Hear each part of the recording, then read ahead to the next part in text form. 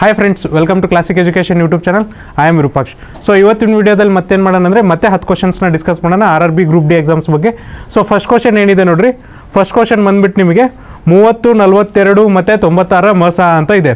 So ಈ ಥರ ಕೊಟ್ಟಾಗ ಏನು ಮಾಡ್ಬೇಕಪ್ಪ ನೀವು ಅಂದರೆ, ಮಸ ಅಂದರೆ ಹೈಯೆಸ್ಟ್ ಕಾಮನ್ ಫ್ಯಾಕ್ಟರ್ ಅಂತ. ಸೊ ಯಾವುದು ಹೈಯೆಸ್ಟ್ ಅಂಕಿ ಇದೆಯಲ್ಲ, ಅದು ಮೂರು ಅಂಕಿನ ಡಿವೈಡ್ ಮಾಡುತ್ತಲ್ಲ, ಅದಕ್ಕೆ ನಾವೇನಂತ ಕರಿತೀವಿ? ಮಸ ಅಂದರೆ ಎಚ್ ಸಿ ಎಫ್ ಅಂತ ಕರಿತೀವಿ. ಸೊ ಈ ಥರ ಇದ್ದಾಗ ಏನು ಮಾಡಿರಿ ನೀವು? ಆಪ್ಷನ್ ವೆರಿಫಿಕೇಷನ್ ಮಾಡಿರಿ. ಸೊ ನೀವು ಮಸ ತೆಗಿಯೋಕೆ ಹೋದ್ರೆ ನಿಮಗೆ ಭಾಳ ಟೈಮ್ ತೊಗೊಳ್ಕೊಳ್ಳುತ್ತೆ ಸೊ ನೀವು ಶಾರ್ಟಾಗಿ ನಿಮ್ಗೆ ಏನಂದರೆ ಎಕ್ಸಾಮಿನೇಷನ್ ಕಡಿಮೆ ಅವಧಿಯಲ್ಲಿ ನೀವು ಏನಂದರೆ ಆನ್ಸರ್ ತೆಗಿಬೇಕು. ಹಾಗಾಗಿ ಏನು ಮಾಡಿರಿ? ಆಪ್ಷನ್ ವೆರಿಫಿಕೇಷನ್ ಮಾಡ್ತಾ ಹೋಗ್ರಿ. ಫಸ್ಟ್ ಹೈಯೆಸ್ಟ್ ಕಾಮನ್ ಫ್ಯಾಕ್ಟ್ರಿ ಯಾವುದಿದೆ ಇದರಲ್ಲಿ? ಎಂಟಿದೆ ಸೊ ಎಂಟು ನೋಡ್ರಿ. ಎಂಟು, ಮೂವತ್ತು ಎಂಟರಿಂದ ಡಿವೈಡ್ ಆಗುತ್ತೆ. ಆಗಲ್ಲ. ಯಾಕಂದರೆ ಎಂಟು ನಾಲ್ಕಲೆ ಎಷ್ಟಾಗುತ್ತಪ್ಪ ಅಂದರೆ ಎಂಟು ನಾಲ್ಕಲೆ ಮೂವತ್ತೆರಡು ಆಗುತ್ತೆ. ಎಂಟು ನಾಲ್ಕಲೆ ಮೂವತ್ತೆರಡು ಆಗುತ್ತೆ. ಮೂವತ್ತಾಗಲ್ಲ ಹಾಗಾಗಿ ಎಂಟು ಆಗೋದಿಲ್ಲ. ಸೊ ನೆಕ್ಸ್ಟ್ ನೋಡ್ರಿ, ಆರರಿಂದ ಮೂವತ್ತು, ನಲ್ವತ್ತೆರಡು ಮತ್ತು ತೊಂಬತ್ತಾರು ಡಿವೈಡ್ ಆಗುತ್ತಾ ಅಂತ. ಸೊ ಆರೈದ್ಲೆ ಏನಾಗುತ್ತಪ್ಪ? ಆರು ಐದ್ಲೆ ಮೂವತ್ತು ಮೂವತ್ತು ಡಿವೈಡ್ ಆಗುತ್ತೆ. ಆರು ಏಳೆ ನಲ್ವತ್ತೆರಡು. ಹಾಗಾಗಿ ನಲ್ವತ್ತೆರಡು ಕೂಡ ಡಿವೈಡ್ ಆಗುತ್ತೆ. ತೊಂಬತ್ತಾರು ಡಿವೈಡ್ ಆಗುತ್ತೆ ನೋಡ್ರಿ? ಹದಿನಾರು ಆರ್ಲೆ ಎಷ್ಟಾಗುತ್ತಪ್ಪ? ಹದಿನಾರು ಆರ್ಲೆ ತೊಂಬತ್ತಾರು ಆಗುತ್ತೆ. ಹದಿನೈದು ಆರ್ಲೆ ತೊಂಬತ್ತಾದ್ಮೇಲೆ ಹದಿನಾರು ಆರ್ಲೆ ಎಷ್ಟಾಗುತ್ತೆ? ತೊಂಬತ್ತಾರು. ಹಾಗಾಗಿ ಏನಪ್ಪ ಅಂದರೆ ಮೂವತ್ತು, ನಲ್ವತ್ತೆರಡು ಮತ್ತು ತೊಂಬತ್ತಾರರ ಮೊಸ ಏನಾಗುತ್ತೆ ಅಂದರೆ ನಲ್ವತ್ತೆರಡು ಆಗ್ತದೆ. ಸೊ ನೆಕ್ಸ್ಟ್ ಕ್ವಶನ್ ನೋಡ್ರಿ. ದೀಪಿಕಾ ಮತ್ತು ಅವರ ತಾಯಿ ನಡುವಿನ ವಯಸ್ಸಿನ ಅಂತರವು ಮೂರು ಅನುಪಾತ ಹನ್ನೊಂದು ಆಗಿದೆ. ಮೂರು ವರ್ಷಗಳ ನಂತರ ಇದು ಒಂದು ಅನುಪಾತ ಮೂರು ಆಗುವುದು. ಹಾಗಾದರೆ ದೀಪಿಕಾ ಅವರ ವಯಸ್ಸೆಷ್ಟು ಅಂತ ಕೇಳಿದ್ದಾರೆ. ಸೊ ನೋಡ್ರಿ. ಈಗ ದೀಪಿಕಾ ಮತ್ತು ಅವ್ರ ತಾಯಿಯ ನಡುವಿನ ವಯಸ್ಸಿನ ಅನುಪಾತ ಎಷ್ಟಿದೆಪ್ಪ ಮೂರು ಅನುಪಾತ ಹನ್ನೊಂದಿದೆ ಮೂರು ವರ್ಷಗಳ ನಂತರ ಅದೇನಾಗುತ್ತೆ ಅಂದರೆ ಒಂದು ಅನುಪಾತ ಮೂರಾಗುತ್ತೆ ಹಾಗಾದರೆ ದೀಪಿಕಾ ವಯಸ್ಸೆಷ್ಟು ಅಂತ ಕೇಳಿದ್ದಾರೆ. ಸೊ ಅದಕ್ಕೆ ನಾವೇನು ಮಾಡೋಣ ಅಂದರೆ, ಅಜ್ವಿ ಮಾಡೋಣ. ದೀಪಿಕಾ ಅವರ ವಯಸ್ಸನ್ನು ಏನಂತ ಇಟ್ಕೊಳ್ಳೋಣ ಅಂದರೆ ದೀಪಿಕಾ ಅವರ ವಯಸ್ಸು ಮೂರು ಎಕ್ಸ್ ಅಂತ ತಗೊಳ್ಳೋಣ.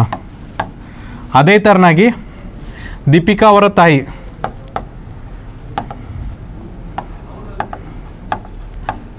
ತಾಯಿ ವಯಸ್ಸು ಏನಂತ ತಗೊಳ್ಳೋಣ ಅಂದರೆ ಲೆವೆನ್ ಎಕ್ಸ್ ಅಂತ ತಗೊಳ್ಳೋಣ.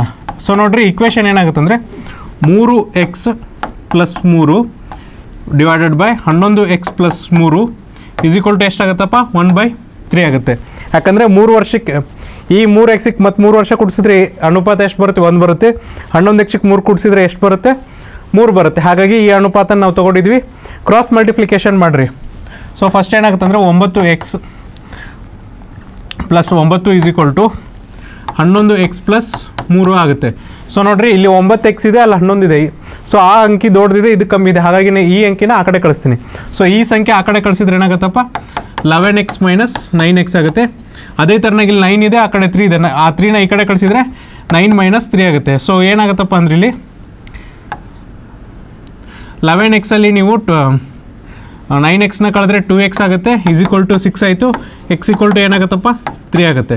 So x equal to three ಆದರೆ ತ್ರೀ ಎಕ್ಸ್ ಇಕ್ವಲ್ ಟು ಎಷ್ಟಾಗುತ್ತೆ ನೈನ್ ಆಗುತ್ತೆ. ಹಾಗಾದರೆ ದೀಪಿಕಾ ಅವರ ಪ್ರ ಈಗಿನ ವಯಸ್ಸು ಎಷ್ಟಂದರೆ? ಒಂಬತ್ತು ವರ್ಷ. ಸೊ ನೆಕ್ಸ್ಟ್ ಕ್ವಶನ್ ನೋಡ್ರಿ.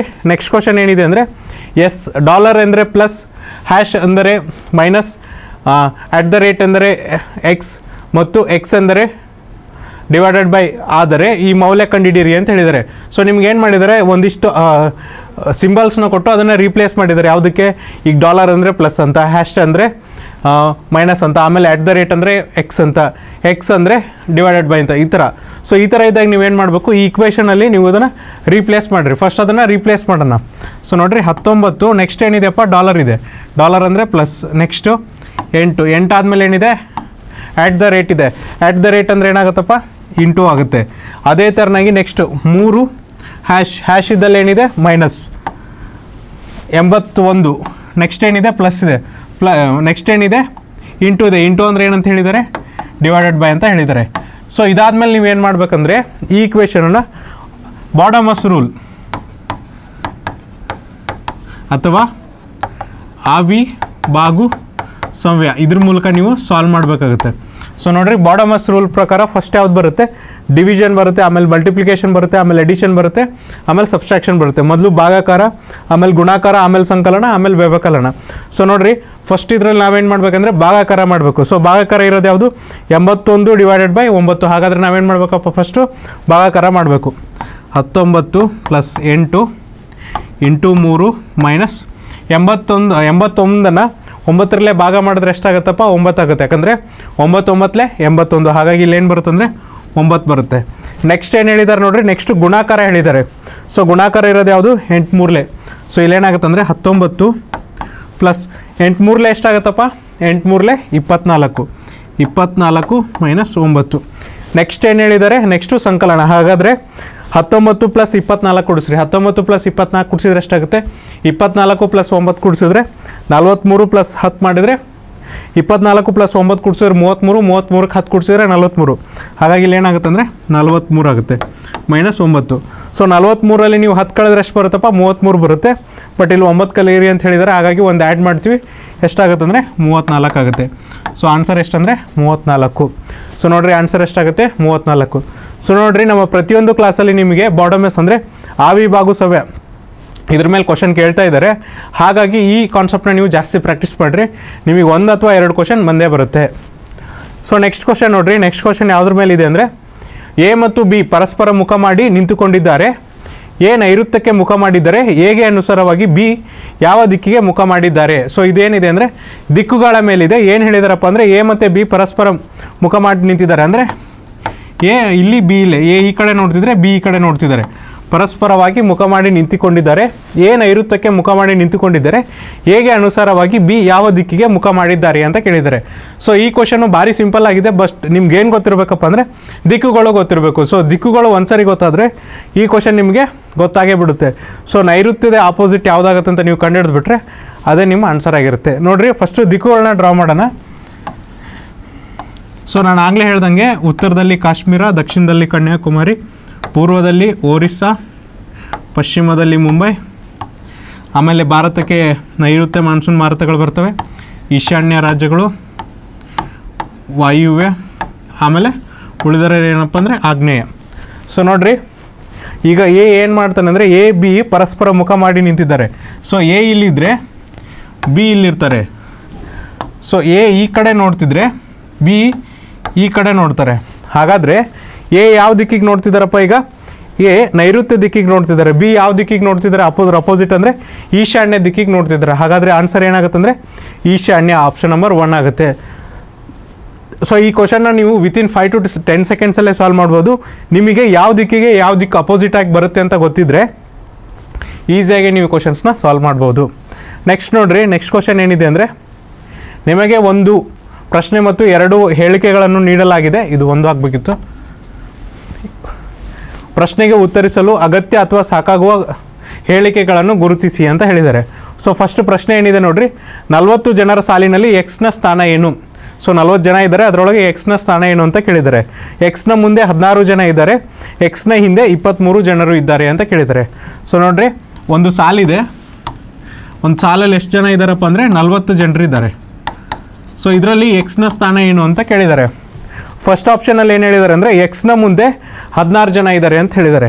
ಸೊ ನೋಡ್ರಿ, ನಾವು ಎಕ್ಸ್ನ ಇಲ್ಲಿ ತೊಗೊಂಡ್ರೆ ಎಕ್ಸ್ನ ಮುಂದೆ ಹದಿನಾರು ಜನ ಇದ್ದಾರೆ ಅಂದರೆ ಎಕ್ಸ್ ಎಕ್ಸ್ನೇ ಸ್ಥಾನಕ್ಕೆ ಬರ್ತಾನಪ್ಪ. ಮುಂದ್ಗಡೆಯಿಂದ ಹದಿನೇಳನೇ ಸ್ಥಾನಕ್ಕೆ ಬರ್ತಾನೆ. ಹೌದಾ? ಸೊ ನಲ್ವತ್ತು ಜನ ಇರೋದ್ರಿಂದ ಎಕ್ಸ್ನ ಮುಂದ್ಗಡೆಯಿಂದ ಹದಿನೇಳು ಸ್ಥಾನಕ್ಕೆ ಬಂದರೆ, ಹಿಂದ್ಗಡೆದು ಏನು ಮಾಡಬೇಕು? ಇಲ್ಲಿ ಎಷ್ಟಿದ್ದಾರೆ? ಹದಿನಾರು ಜನ ಇದ್ದಾರೆ. ಟೋಟಲ್ ಇರೋದು ನಲ್ವತ್ತು. ಸೊ ಟೋಟಲ್ ಇರೋದು ನಲ್ವತ್ತು. ಅದರಲ್ಲಿ ಹದಿನಾರು ಕಳೆದ್ರೆ ಎಷ್ಟು ಬಂತಪ್ಪ? ಇಪ್ಪತ್ನಾಲ್ಕು. ಬಟ್ ನಾವೇನು ಮಾಡಬೇಕು? ಎಕ್ಸನ್ನು ಕಳಿಬೇಕು. ಎಕ್ಸ್ನ ಹಿಂದ್ಗಡೆ ಇದ್ದಾರೆ, ಎಷ್ಟು ಜನ ಇದ್ದಾರೆ ಅಂತ ಗೊತ್ತಾಗುತ್ತೆ. ಹಾಗಾಗಿ ಎಕ್ಸ್ನ ಹಿಂದ್ಗಡೆ ಎಷ್ಟಿದ್ದಾರೆ ಇಪ್ಪತ್ತ್ಮೂರು ಜನರು ಇದ್ದಾರೆ. ಸೊ ನೋಡ್ರಿ ಎಕ್ಸ್ನ ಮುಂದ್ಗಡೆ ಹದಿನಾರು ಇದ್ದರೆ ಹಿಂದ್ಗಡೆ ಇಪ್ಪತ್ತ್ಮೂರು ಇರ್ತಾರೆ. ಸೊ ಒಂದೇ ಸ್ಟೇಟ್ಮೆಂಟಿಂದ ನೀವು ಎರಡು ದಿಕ್ಕು, ಅಂದರೆ ಎರಡು ರ್ಯಾಂಕಿಂಗನ್ನು ಕಂಡುಹಿಡಿಬೋದು. ಮುಂದ್ಗಡೆಯಿಂದನೂ ಎಷ್ಟು ಜನ ಇದ್ದಾರೆ ಅಂತ ಕಂಡುಹಿಡಿಬೋದು. ಹಿಂದ್ಗಡೆಯಿಂದನೇ ಎಷ್ಟು ಜನ ಇದ್ದಾರೆ ಅಂತಲೂ ಕಂಡುಹಿಡಿಬೋದು. ನೆಕ್ಸ್ಟ್ ಸ್ಟೇಟ್ಮೆಂಟ್ ಏನಿದೆ? ಎಕ್ಸ್ನ ಹಿಂದೆ ಇಪ್ಪತ್ತ್ಮೂರು ಜನರಿದ್ದಾರೆ ಸೊ ನೋಡ್ರಿ, ಎರಡನೇ ಕೇಸಲ್ಲೂ ಸೇಮ್ ಆಗುತ್ತೆ. ನಮಗೇನಾಗುತ್ತೆ? ಎಕ್ಸ್ನ ಹಿಂದೆ ಇಪ್ಪತ್ತ್ಮೂರು ಜನ ಇದ್ದಾರೆ ಅಂದಮೇಲೆ ಎಕ್ಸ್ನ ಮುಂದ್ಗಡೆ ಎಷ್ಟು ಇರ್ತಾರೆ ಹದಿನಾರು ಜನ ಇರ್ತಾರೆ. ಹಾಗಾಗಿ ನಮಗೆ ಹಿಂದ್ಗಡೆ ಇಪ್ಪತ್ತ್ಮೂರು ಇದ್ದಾರೆ ಅಂದರೆ ಮುಂದ್ಗಡೆ ಸ್ಥಾನನೂ ಗೊತ್ತಾಗುತ್ತೆ. ಮುಂದ್ಗಡೆಯಿಂದನೂ ಎಕ್ಸ್ನ ರ್ಯಾಂಕ್ ಏನಂತ ಗೊತ್ತಾಗುತ್ತೆ. ಹಿಂದ್ಗಡೆಯಿಂದನೂ ಕೂಡ ಎಕ್ಸ್ನ ರ್ಯಾಂಕ್ ಏನಂತ ಗೊತ್ತಾಗುತ್ತೆ. ಹಾಗಾಗಿ ಉತ್ತರ ಏನಾಗುತ್ತಂದ್ರೆ ಇಲ್ಲಿ ಒಂದು ಅಥವಾ ಎರಡು ಮಾತ್ರ ಸಾಕಾಗುತ್ತದೆ. ಅಂದರೆ ಯಾವುದಾದ್ರೂ ಒಂದು, ಒಂದೇ ಆಪ್ಷನ್ ಇದ್ದರೂ ಅಂದರೆ ಹೇಳಿಕೆ ಒಂದ, ಒಂದಿದ್ರೂ ಸಾಕಾಗುತ್ತೆ ಅಥವಾ ಎರಡಿದ್ರೂ ಸಾಕಾಗುತ್ತೆ. ಎರಡೂ ಬೇಕಾಗಿಲ್ಲ ಯಾಕಂದರೆ ನಿಮಗೆ ಮುಂದ್ಗಡೆ ಜನ ಎಷ್ಟಿದ್ದಾರೆ ಅಂತ ಗೊತ್ತಾಗ್ಬಿಟ್ರೆ ನಿಮಗೆ ಟೋಟಲ್ ಜನರಲ್ಲಿ ಅವ್ರನ್ನ ಕಳೆದ್ರೆ ಹಿಂದ್ಗಡೆ ಜನರು ಎಷ್ಟಿದ್ದಾರೆ ಅಂತ ಗೊತ್ತಾಗುತ್ತೆ. ಅಥವಾ ನಿಮಗೆ ಹಿಂದ್ಗಡೆ ಜನರು ಎಷ್ಟಿದ್ದಾರೆ ಅಂತ ಕಂಡು ಗೊತ್ತಾದರೆ ನೀವು ಮುಂದ್ಗಡೆ ಜನ ಎಷ್ಟಿದ್ದಾರೆ ಅಂತಂದರೆ ಹಿಂದ್ಗಡೆ ಜನರನ್ನ ಒಟ್ಟು ಜನಸಂಖ್ಯೆಯಲ್ಲಿ ಕಳೆದ್ರೆ ನಿಮಗೆ ಆನ್ಸರ್ ಬರುತ್ತೆ. ಹಾಗಾಗಿ ನಿಮಗೆ ಒಂದು ಅಥವಾ ಎರಡು ಮಾತ್ರ ಸಾಕಾಗುತ್ತೆ. ಒಂದಾದರೂ ಇರ್ಬೋದು ಅಥವಾ ಎರಡು. ಎರಡರಲ್ಲಿ ಒಂದಿದ್ರೂ ಸಾಕಾಗುತ್ತೆ. ಹಾಗಾಗಿ ಆಪ್ಷನ್ ಏನಾಗುತ್ತೆ? ಒಂದು ಅಥವಾ ಎರಡು ಮಾತ್ರ ಸಾಕಾಗುತ್ತೆ ಆಗುತ್ತೆ. ಸೊ ನೋಡಿರಿ ಎಕ್ಸಾಮಿನೇಷನಲ್ಲಿ ಕೇರ್ಫುಲ್ ಆಗಿರ್ರಿ. ಒಂದು ಮತ್ತು ಎರಡು ಒಟ್ಟಿಗೆ ಸಾಕಾಗುತ್ತೆ ಅಂತ ಕೇಳಿದ್ದಾರೆ. ಸೊ ನೋಡ್ರಿ, ಒಂದು ಮತ್ತು ಎರಡು ಒಟ್ಟಿಗೆ ಬೇಡ. ಯಾಕಂದರೆ ಒಂದು ಅಥವಾ ಎರಡು, ಎರಡರಲ್ಲಿ ಒಂದಿದ್ರೆ ಸಾಕು ನಮಗೆ ಆನ್ಸರ್ ಬರುತ್ತೆ. ಹಾಗಾಗಿ ಉತ್ತರ ಏನಾಗುತ್ತೆ ಅಂದರೆ ಒಂದು ಅಥವಾ ಎರಡು ಮಾತ್ರ ಸಾಕಾಗುತ್ತೆ, ಆಗುತ್ತೆ. ಸೊ ನೆಕ್ಸ್ಟ್ ಕ್ವಶನ್ ನೋಡ್ರಿ. ಹದಿನಾರು ನೂರ ಐವತ್ತೇಳು ಮತ್ತು ಎರಡು ಸಾವಿರದ ಮೂವತ್ತೇಳನ್ನು ಭಾಗಿಸಿದಾಗ ಕ್ರಮವಾಗಿ ಆರು ಮತ್ತು ಐದನ್ನು ಶೇಷವಾಗಿ ಉಳಿಸುವ ಅತಿ ದೊಡ್ಡ ಸಂಖ್ಯೆ ಯಾವುದು? ಸೊ ನೋಡ್ರಿ ಕ್ವಶನ್ನು ನೋಡೋಕ್ಕೆ ಭಾರಿ ಕಷ್ಟ ಇದೆ. ನಿಮಗೆ ನಾನು ಸಾಲ್ವ್ ಮಾಡಿದಾಗ ಅನಿಸುತ್ತೆ ಇಷ್ಟು ಈಸಿ ಕ್ವಶನ್ ಇದನ್ನ ಇದನ್ನು ಇಷ್ಟು ಬೇಗ ಸಾಲ್ವ್ ಮಾಡ್ಬೋದಾ ಅಂತ. ಸೊ ನಮಗೇನು ಹೇಳಿದ್ದಾರೆ ಹದಿನಾರು ನೂರ ಐವತ್ತೇಳು ಮತ್ತು ಎರಡು ಸಾವಿರದ ಮೂವತ್ತೇಳನ್ನು ಭಾಗಿಸಿದಾಗ ಕ್ರಮವಾಗಿ ಆರು ಮತ್ತು ಐದನ್ನು ಶೇಷವಾಗಿ ಉಳಿಸುವ ಅತಿ ದೊಡ್ಡ ಸಂಖ್ಯೆ. ಸೊ ಶೇಷ ಅಂದರೆ ಏನೋದು? ಎಕ್ಸ್ಟ್ರಾ ಸೊ ನೀವು ಡಿವಿಷನ್ ಮಾಡಿದಾಗ ನಿಮ್ಗೇನು ಬರುತ್ತಲ್ಲ? ಉಳಿಯೋದನ್ನು ನಾವು ಏನಂತ ಕರಿತೀವಿ? ಶೇಷ ಅಂತ ಕರಿತೀವಿ. ಸೊ ನೋಡಿರಿ. ಹದಿನಾರು ನೂರ ಐವತ್ತೇಳು ಮತ್ತು ಎರಡು ಸಾವಿರದ ಮೂವತ್ತೇಳು. ಇವೆರಡನ್ನು ಭಾಗಿಸಿದಾಗ ಎಷ್ಟು ಶೇಷ ಉಳಿಯುತ್ತೆ ಅಂತ ಹೇಳಿದ್ದಾರೆ ಆರು ಮತ್ತು ಐದು ಕ್ರಮವಾಗಿ ಅಂತ ಹೇಳಿದ್ದಾರೆ. ನಮಗೇನು ಬೇಕು? ಪರಿಪೂರ್ಣ ಸಂಖ್ಯೆ ಬೇಕು. ಎಷ್ಟು ಪರಿಪೂರ್ಣ ಸಂಖ್ಯೆ ಇದೆ ಅಂತ ಗೊತ್ತಾದಾಗ ಮಾತ್ರ ನಾವು ಆ ಸಂಖ್ಯೆ ಯಾವುದು ಅಂತ ಕಂಡುಹಿಡಿಬೋದು. ಸೊ ಪರಿಪೂರ್ಣ ಸಂಖ್ಯೆ ಬೇಕಂದ್ರೆ ನಾವೇನು ಮಾಡ್ಬೇಕಂದ್ರೆ, ಈ ಸಂಖ್ಯೆಯಲ್ಲಿ ಎಷ್ಟು ಶೇಷ ಉಳಿಯುತ್ತಲ್ಲ ಅದನ್ನು ಕಳಿಬೇಕು. ಸೊ ನೋಡ್ರಿ ಹದಿನಾರು ನೂರ ಐವತ್ತೇಳಲ್ಲಿ ಆರನ್ನು ಕಳೆದ್ರೆ ಎಷ್ಟು ಉಳಿಯುತ್ತಪ್ಪ ನಿಮಗೆ? ಹದಿನಾರು ನೂರ ಐವತ್ತೊಂದು ಉಳಿಯುತ್ತೆ. ಅದೇ ಥರನಾಗಿ ಎರಡು ಸಾವಿರದ ಮೂವತ್ತೇಳಲ್ಲಿ ನಿಮಗೆ ಐದನ್ನು ಕಳೆದ್ರೆ ಎಷ್ಟು ಉಳಿಯುತ್ತೆ? ಎರಡು ಸಾವಿರದ ಮೂವತ್ತೆರಡು ಉಳಿಯುತ್ತೆ. ಸೊ ಇವಾಗ ನಮಗೇನಂತಂದರೆ ಪರಿಪೂರ್ಣ ಸಂಖ್ಯೆಗಳು ಸಿಕ್ಕುವ ಅಂದರೆ ಇವನ್ ಭಾಗಿಸಿದಾಗ ನಿಮ್ಗೆ ಯಾವುದೇ ಥರನಾದಂಥ ಶೇಷ ಉಳಿಯಲ್ಲ ಸೊ ಇವಾಗ ನಾವೇನು ಕಂಡುಹಿಡಿಬೇಕಂದ್ರೆ ಹದಿನಾರು ನೂರ ಐವತ್ತೊಂದು ಮತ್ತು ಎರಡು ಸಾವಿರದ ಮೂವತ್ತೆರಡರ ಮ ಸಹ ಕಂಡುಹಿಡಿಬೇಕಾಗುತ್ತೆ. ಸೊ ನೋಡ್ರಿ, ಇಲ್ಲಿ ಆಪ್ಷನನ್ನು ನೋಡಿದ್ರೆ ನಿಮಗೆ ಗೊತ್ತಾಗುತ್ತೆ. ನೀವು ಮ ಸಹ ಕಂಡುಹಿಡಿಯೋ ಅವಶ್ಯಕತೆ ಇಲ್ಲ. ಸೊ ನೋಡ್ರಿ, ಅಂಕಿ ಏನಿದೆ ಇಲ್ಲಿ? ಹದಿನಾರು ನೂರ ಐವತ್ತೊಂದು ಎರಡು ಸಾವಿರದ ಮೂವತ್ತೆರಡು. ಫಸ್ಟ್ ಆಪ್ಷನ್ ನೋಡ್ರಿ ನೂರ ಮೂವತ್ತಿದೆ ನೂರ ಮೂವತ್ತು ಯಾವುದೇ ತಗೋರಿ. ಎಕ್ಸಾಂಪಲ್ ಹತ್ತು ತಗೋರಿ. ಹತ್ತನ್ನು ನೀವು ತೊಂಬತ್ತೊಂದರಿಂದ ಡಿವೈಡ್ ಮಾಡಿದ್ರೆ ಎಷ್ಟು ಬರುತ್ತೆ? ತೊಂಬತ್ತೊಂದನ್ನು ನೀವು ಹತ್ತರಿಂದ ಡಿವೈಡ್ ಮಾಡಿದ್ರೆ ಎಷ್ಟು ಬರುತ್ತಪ್ಪ? ತೊಂಬತ್ತೊಂದನ್ನು ಹತ್ತರಲ್ಲೇ ಡಿವೈಡ್ ಮಾಡಿದ್ರೆ ನೈನ್ ಪಾಯಿಂಟ್ ಒನ್ ಬರುತ್ತೆ. ಸೊ ಇದು ಪರಿಪೂರ್ಣವಾಗಿ ಭಾಗ ಆಗಲ್ಲ. ಹಾಗಾಗಿ, ನೀವು ಹದಿನಾರು ನೂರ ಐವತ್ತೊಂದರ ನೂರ ಮೂವತ್ತರಿಂದ ಭಾಗ ಮಾಡಿದ್ರೆ ನಿಮಗೆ ಇದು ಪರಿಪೂರ್ಣವಾಗಿ ಭಾಗ ಆಗಲ್ಲ. ಹಾಗಾಗಿ, ಈ ಆಪ್ಷನ್ ಹೋಯಿತು. ನೆಕ್ಸ್ಟ್ ನೋಡ್ರಿ. ಮೂರನೇ ಆಪ್ಷನ್ ಬರ್ರಿ. ಮೂರನೇ ಆಪ್ಷನಲ್ಲೂ ಕೂಡ ಏನಂದ್ರೆ ಸೊನ್ನೆ ಇದೆ.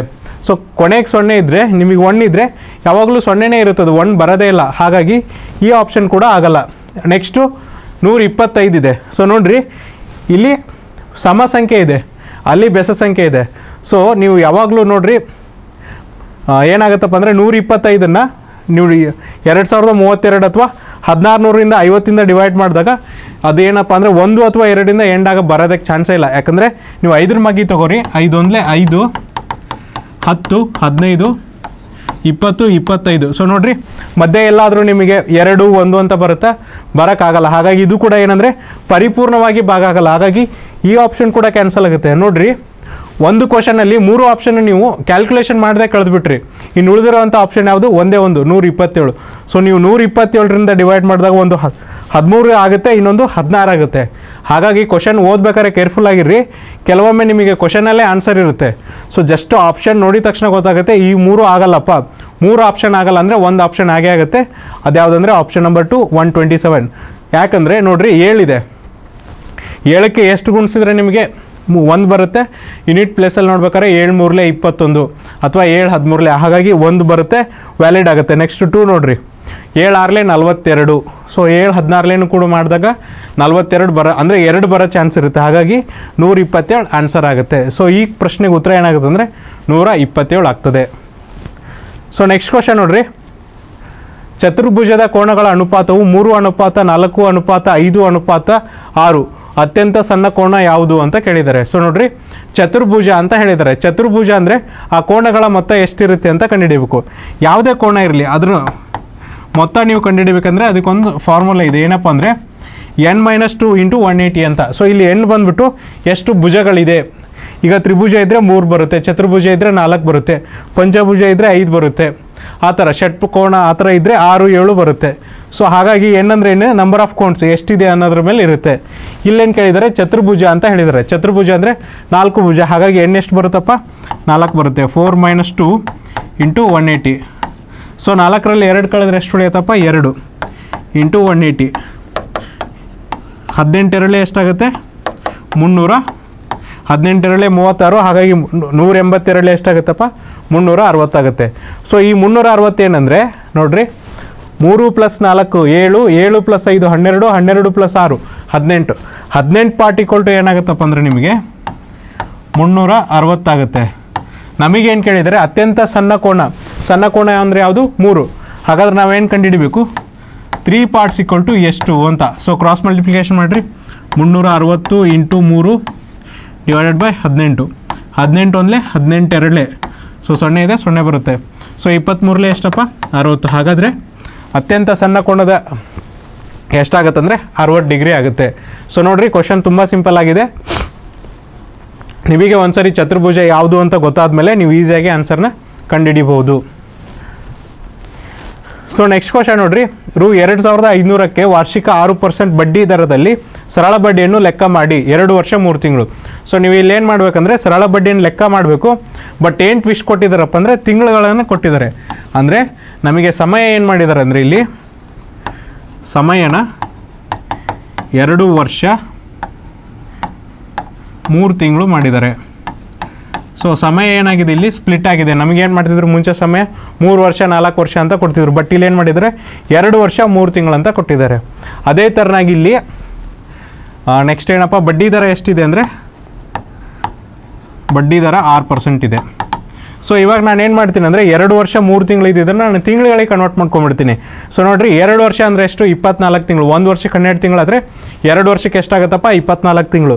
ಪ್ಲಸ್ ಮೂರು ಮಾಡಿದ್ರೆ ಎಷ್ಟಾಯಿತು? ಇಪ್ಪತ್ತೇಳು ತಿಂಗಳಾಯಿತು. ಇಪ್ಪತ್ತೇಳು ತಿಂಗಳು. ಸೊ ನೋಡಿರಿ ಫಾರ್ಮಲ್ ಹಾಕ್ತೀನಿ. ಫಾರ್ಮಲ್ ಏನಿದೆ ಅಂದರೆ P T R by hundred P ಅಂದರೆ ಏನು ಪ್ರಿನ್ಸಿಪಲ್ ಅಂದರೆ ಎರಡು ಸಾವಿರದ ಐದುನೂರು. ಎರಡು ಸಾವಿರದ ಐದುನೂರು ಇಂಟು ಟಿ ಅಂದ್ರೇನು ಸಮಯ. ಸಮಯ ಎಷ್ಟಿದೆಯಪ್ಪ? ಇಪ್ಪತ್ತೇಳು ತಿಂಗಳು. ಆರ್ ಅಂದ್ರೇನು ಬಡ್ಡಿ ದರ divided by hundred into into ಯಾಕಂದರೆ ನಮಗೆ ಯಾವಾಗಲೂ ನಾವು ಸಮಯನ ಏನು ತೊಗೋತೀವಿ ಅಂದರೆ ವರ್ಷದಲ್ಲಿ ತೊಗೋತೀವಿ. ಹಾಗಾಗಿ ಏನು ಮಾಡ್ಬೇಕಂದ್ರೆ ಇಂಟು ಟ್ವೆಲ್ವ್ ಯಾಕಂದರೆ ಒಂದು ವರ್ಷಕ್ಕೆ ಹಂಡ್ರೆಡ್ ತಿಂಗಳು. ಮೇಲ್ಗಡೆ ತಿಂಗಳು ತೊಗೊಂಡಾಗ ಕೆಳಗಡೆ ಕೂಡ ಡಿವೈಡೆಡ್ ಬೈ ಟ್ವೆಲ್ವ್ ಅಂತ ಬರೀಬೇಕಾಗತ್ತೆ. ಸೊ ನೋಡಿರಿ ಇವೆರಡು ಸೊನ್ನೆ ಇವೆರಡು ಸೊನ್ನೆ ಕ್ಯಾನ್ಸಲ್ ಆಗುತ್ತೆ. ಆರು ಒಂದಲೇ, ಆರು ಎರಡ್ಲೇ. ಸೊ ನಿಮ್ಗೆ ಏನು ಉಳಿಯತ್ತಪ್ಪ ಅಂದರೆ ಇಪ್ಪತ್ತೇಳು ಇಂಟು ಇಪ್ಪತ್ತೈದು. ಸೊ ನೋಡಿರಿ. ಇಪ್ಪತ್ತು ಐದು ಇಂಟು ಇಪ್ಪತ್ತೇಳು ಡಿವೈಡೆಡ್ ಬೈ ಎರಡು ಅಂತ ಉಳಿಯುತ್ತೆ. ಸೊ ನಾನೇನು ಮಾಡ್ತೀನಿ ಅಂದರೆ ಇಪ್ಪತ್ತೈದು ಇಂಟು ಇಪ್ಪತ್ತೇಳು ಮಾಡ್ಕೋತೀನಿ. ಸೊ ನೋಡಿರಿ, ಇಪ್ಪತ್ತೈದು ಇಂಟು ಇಪ್ಪತ್ತೇಳು ಯಾವ ಥರ ಮಾಡ್ಕೋತೀರಂದರೆ ಇಪ್ಪತ್ತೈದು ಇಂಟು ಇಪ್ಪತ್ತೇಳನ್ನ ಯಾವ ಥರ ಬರಿಬೋದಪ್ಪ ಅಂದರೆ ಇಪ್ಪತ್ತೈದು ಪ್ಲಸ್ ಎರಡು ಅಂತ ಬರಿಬೋದಾ? ನಾನು ಯಾಕೆ ಸ್ಪ್ಲಿಟ್ ಮಾಡಿದ್ದೀನಿ ಅಂದರೆ ನಮಗೆಲ್ಲ ಇಪ್ಪತ್ತೈದರ ಸ್ಕ್ವೇರ್ ಗೊತ್ತು. ಎಷ್ಟಪ್ಪ? ಸಿಕ್ಸ್ ಟ್ವೆಂಟಿ ಫೈವ್ ಸೊ ಈ ಥರ ನಾವು ಕ್ಯಾಲ್ಕುಲೇಷನ್ ಸುಲಭ ಮಾಡ್ಕೊಳ್ಳೋದ್ರಿಂದ ನಮಗೆ ಕ್ಯಾಲ್ಕುಲೇಷನ್ ಮೇಲಿನ ಸಮಯನ ತೆಗಿಬೋದು. ಸೊ ನೋಡಿರಿ, ಇದನ್ನು ಯಾವ ಥರ ಬರ್ಕೋಬೋದು ಅಂದರೆ ಇಪ್ಪತ್ತೈದು ಇಂಟು ಇಪ್ಪತ್ತೈದು ಪ್ಲಸ್ ಇಪ್ಪತ್ತೈದು ಇಂಟು ಎರಡು. ಸೊ ನೋಡಿರಿ, ಇಪ್ಪತ್ತೈದರ ಸ್ಕ್ವೇರ್ ಎಷ್ಟಾಗುತ್ತೆ? ಆರುನೂರ ಇಪ್ಪತ್ತೈದು. ಪ್ಲಸ್ ಇಪ್ಪತ್ತೈದು ಇಂಟು ಎರಡು ಮಾಡಿದ್ರೆ ಐವತ್ತು ಬರುತ್ತೆ. ಸೊ ಟೋಟಲ್ ಎಷ್ಟಾಯ್ತಪ್ಪ? ಸಿಕ್ಸ್ ಸೆವೆಂಟಿ ಫೈವ್ ಆಯಿತು. ಸೊ ನಮ್ಮ ನಿಮಗೆ ತಿಳ್ಸೋಕ್ಕೋಸ್ಕರ ಇಷ್ಟು ಆಗಿ ಬರದೆ. ನೀವು ಎಕ್ಸಾಮಿನೇಷನಲ್ಲಿ ಡೀಟೇಲಾಗಿ ಬರೋ ಅವಶ್ಯಕತೆ ಇಲ್ಲ. ಜಸ್ಟು ಮನ್ಸಿನಲ್ಲೇ ಕ್ಯಾಲ್ಕುಲೇಷನ್ ಮಾಡಿದರೆ ಸಾಕು. ಸೊ ಇಪ್ಪತ್ತೈದು ಇಂಟು ಇಪ್ಪತ್ತೇಳು ಮಾಡಿದ್ರೆ ಎಷ್ಟಾಗುತ್ತೆ? ಸಿಕ್ಸ್ ಸೆವೆಂಟಿ ಫೈವ್ ಆಗುತ್ತೆ. ಸೊ ನೋಡಿರಿ. Six seventy five divided by twelve ಮಾಡಿರಿ. ಟೂ ಮಾಡಿರಿ. ಎರಡು ಒಂದಲೇ, ಎರಡು ಮೂರಲೇ. ಏಳಿದೆ ಎರಡು ಮೂರಲೇ, ಆರು. ಒಂದು ಉಳಿತು, ಎರಡು ಏಳು.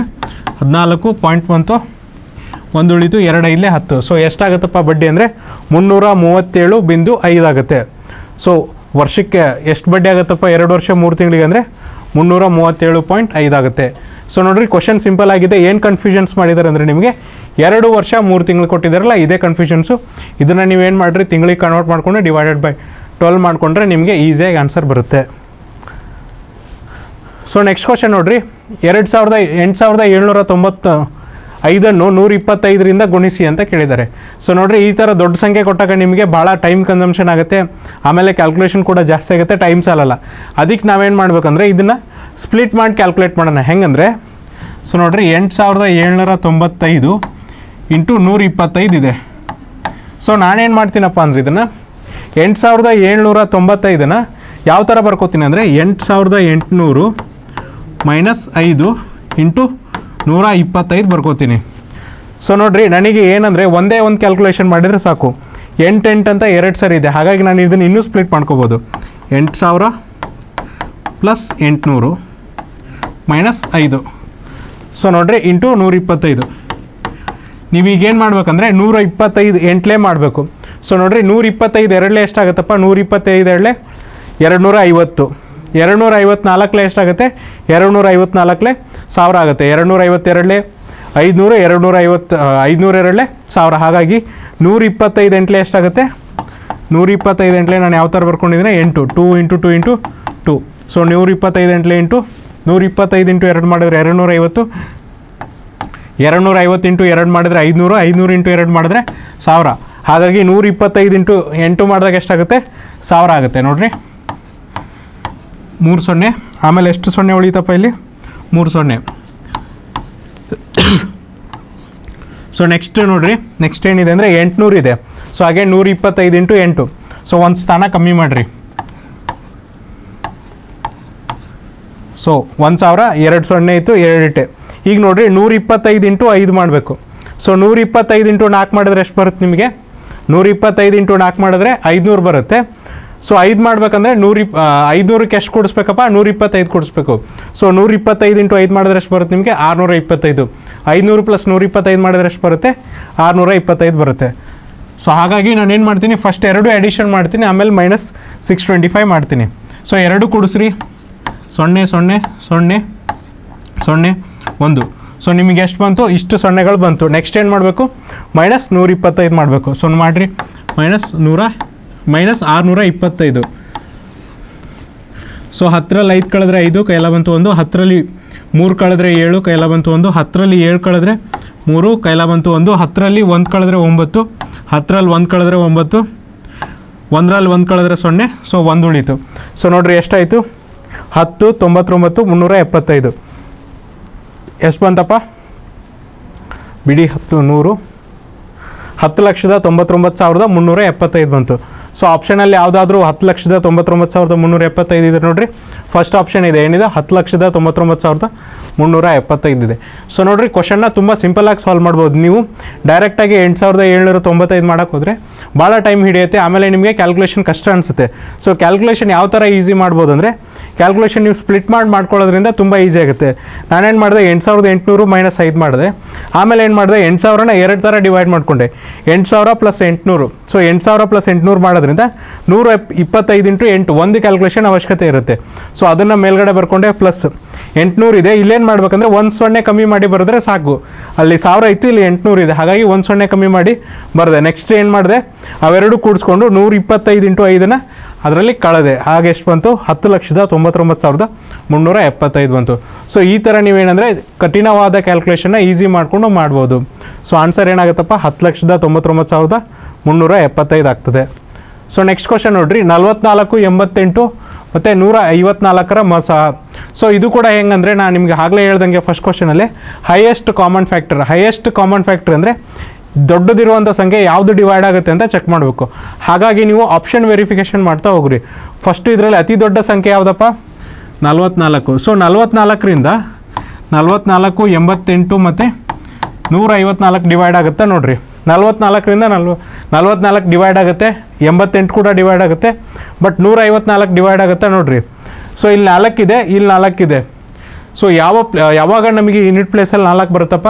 ನಾಲ್ಕು ಒಂದಲೇ ನಾಲ್ಕು ಬಿಟ್ಟರೆ ನಾಲ್ಕು ಆರಲೇ ಇಪ್ಪತ್ನಾಲ್ಕು. ಆವಾಗ ಮಾತ್ರ ನಮಗೆ ಯೂನಿಟ್ ಪ್ಲೇಸಲ್ಲಿ ನಾಲ್ಕು ಬರುತ್ತೆ. ಹಾಗಾದರೆ ನಲ್ವತ್ನಾಲ್ಕು ಆರ್ಲೆ ಮಾಡಿದ್ರೆ ನಿಮಗೆ ನೂರ ಐವತ್ನಾಲ್ಕು ಬರುತ್ತಾ ನೋಡಿರಿ. ನಲ್ವತ್ತಾರು ಮಾಡಿದ್ರೆ ಎಷ್ಟಾಗುತ್ತೆ? ಎರಡು ನೂರ ನಲ್ವತ್ತಾಗುತ್ತೆ ಬಟ್ ಇದು ನೂರ ಐವತ್ನಾಲ್ಕಿದೆ ಇದು. ಕೂಡ ಆಗಲ್ಲ. ಸೊ ನೆಕ್ಸ್ಟ್ ಯಾವುದಿದೆ ಅಂದರೆ ಇಪ್ಪತ್ತೆರಡು. ಈಗ ಒಂದು ಆಪ್ಷನ್ ಆಗಲ್ಲ ಅಂದಮೇಲೆ ನೆಕ್ಸ್ಟ್ ಆಪ್ಷನ್ ಯಾವುದಂದ್ರೆ ಅತಿ ದೊಡ್ಡ ಸಂಖ್ಯೆ ಇಪ್ಪತ್ತೆರಡು. ಇಪ್ಪತ್ತೆರಡರಿಂದ ಡಿವೈಡ್ ಆಗುತ್ತೆ ನೋಡಿರಿ. ಇಪ್ಪತ್ತೆರಡರಲ್ಲೇ ನಲ್ವತ್ನಾಲ್ಕು, ಇಪ್ಪತ್ತೆರಡು ನಾಲ್ಕಲೇ ಎಂಬತ್ತೆಂಟು, ಇಪ್ಪತ್ತೆರಡು ಏಳೇ ನೂರ ಐವತ್ನಾಲ್ಕು ಆಗುತ್ತೆ. ಯಾಕಂದರೆ ಇಲ್ಲಿ ಯೂನಿಟ್ ಪ್ಲೇಸಲ್ಲಿ ಎರಡಿದೆ, ಇಲ್ಲಿ ನಾಲ್ಕಿದೆ. ಸೊ ಇಲ್ಲಿ ಎರಡಿದೆ, ಇಲ್ಲಿ ನಾಲ್ಕಿದೆ. ಯಾವಾಗ ಏನು ಇಂಟು ಮಾಡಿದರೆ ನಮ್ಗೆ ಯೂನಿಟ್ ಪ್ಲೇಸಲ್ಲಿ ನಾಲ್ಕು ಬರುತ್ತೆ ಅಂತ ಕಂಡುಹಿಡಬೇಕು.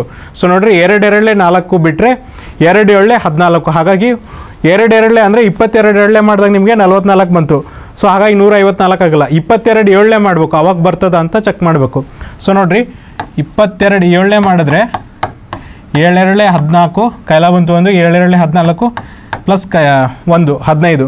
ನೂರ ಐವತ್ನಾಲ್ಕು ಆಗುತ್ತೆ. ಹಾಗಾಗಿ ನಲ್ವತ್ನಾಲ್ಕು, ಎಂಬತ್ತೆಂಟು ಮತ್ತು ನೂರ ಐವತ್ನಾಲ್ಕರ ಮಸ ಏನಾಗುತ್ತೆ ಅಂದರೆ ಇಪ್ಪತ್ತೆರಡು ಆಗ್ತದೆ. ಹಾಗಾಗಿ ಆಪ್ಷನ್ ಯಾವುದಾಗುತ್ತೆ?